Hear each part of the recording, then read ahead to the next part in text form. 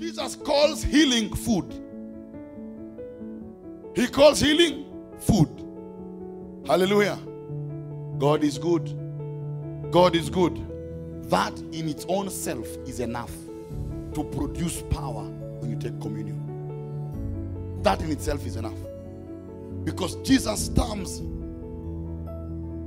healing as food, and He is the bread of life. That in its own sense, when you take the body of Christ, should work a miracle. God is good.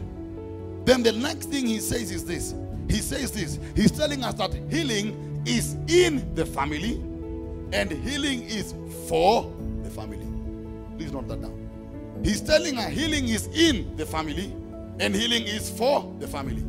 How is it in the family? He is coming with healing, those are his children. It is for them. So he's telling her that healing is in the family and healing is for the family.